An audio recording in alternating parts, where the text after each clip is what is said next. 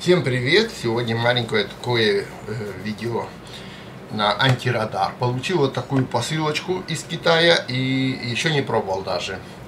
С одной стороны, э, говорят, вроде бы работает некоторые, некоторые показывали, вроде не работает, но те видео, которые показывали, были еще несколько лет назад, так что я не знаю, может они уже что-то там поменяли, может что-то улучшили.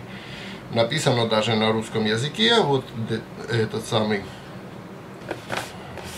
как бы детектор э, радиолокатора, как они написали. В общем, антирадар, да? Куча всего нарисовано.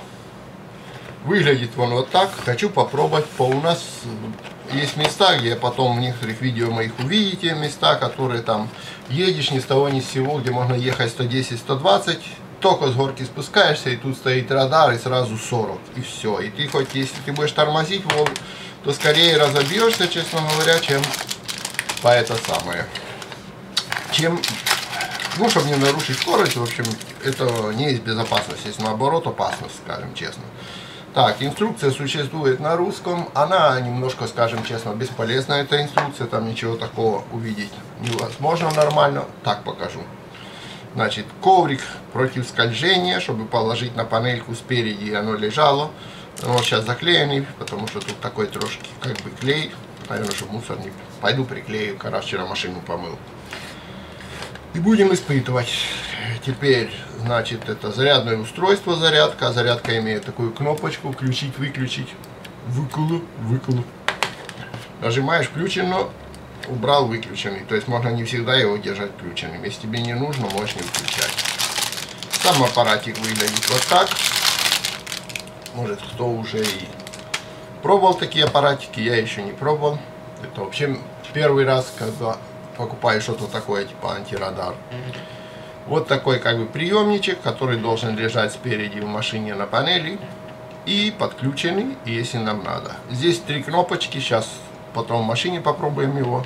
Здесь три кнопочки сверху, больше ничего нет, кроме так сказать, это самое мишури всякое подключение. Это USB, даже не знаю, зачем он нужен. Вот просто не знаю, зачем этот шнур USB сюда подключается. То есть, если кто знает, напишите, буду рад узнать.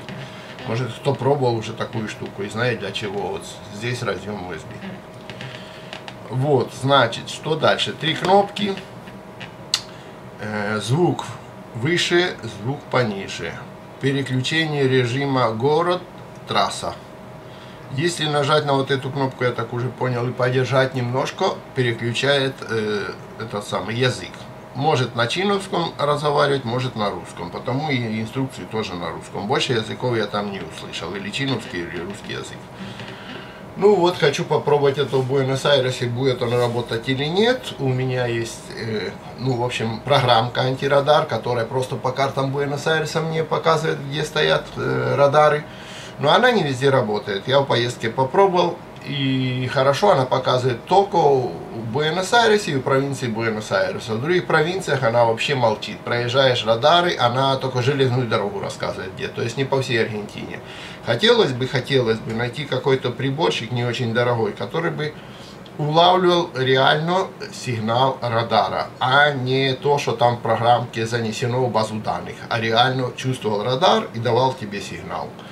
Такой приборчик хотелось бы, конечно, заиметь. Но это мой первый приборчик. Если он будет не работать, будем искать другой. Если будет работать, тоже покажу. В общем, пока что это была распаковка. Дальше установлю в машине, поедем по городу, включим программку, где, которая показывает по городу, где есть радары, это с телефона, с базы данных, и будем сверяться с этим, будет ли он реагировать или нет на эти радары. Так, закрепили мы радар, антирадар вот таким образом машине. В принципе, он сказал, пристегните ремни и сказал этот самый. Э, ну что, звук включенный. Пока только эти слова сказал. И пристегните ремни. И что, режим город. Типа он запомнил тот режим, который я выставил. Тут два режима, город и трасса. Мы хотим проехать мимо одного радара, который, как бы, я знаю, что он тут должен быть ну, такой радар. Но только, правда, я не знаю, в какую сторону он направлен. нашу сторону или от нас. Это правда, тоже не знаю пока. Он что-то начал высвечивать букву К и какие-то полоски. Потом пропало. То есть, пока он ничего еще не говорит Ну, я же говорю, мы потом еще отдельно по- по- попробуем там, где э, конкретно знаем, куда направлены. Потому что здесь я не знаю, куда направлены. Ну что-то какие-то полоски показывает и кукука. Радар где-то за 200 метров должен быть от нас. Проедем, пос- попробуем, может он хоть что-нибудь. Ну, звук пока никакой не издает. Вот только полосочки и что-то меняется. К теперь была, теперь вот другое показывает. Ну, пока молчит.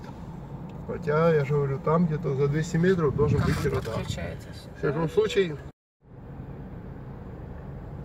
вот, подключаем его здесь. Кнопочка есть включение-выключение есть, которая можно как бы не все время включенным держать, можно только там, если ты хочешь им пользоваться. На такой липучечке как бы он лег, не знаю, как он будет прилипать хорошо или нет э, потом, когда, ну, как бы пыль там припадет изредка на него. Или солнце нажать. Да, или солнце нажарит. Это мы еще не испытывали.